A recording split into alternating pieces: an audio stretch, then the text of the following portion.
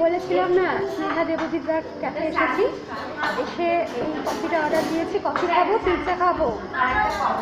অনেক গল্প বাড়িতে গিয়ে শেয়ার করব। আর ঠাকুর যাটা দেখছি, তোমাদের সঙ্গে তো শেয়ার করছি। খুব মস্ত লাগছে আজকে, বিশাল ভালো লাগছে। ঠিক আছে? খেতে থাকি? তোমরা দেখতে থাকো।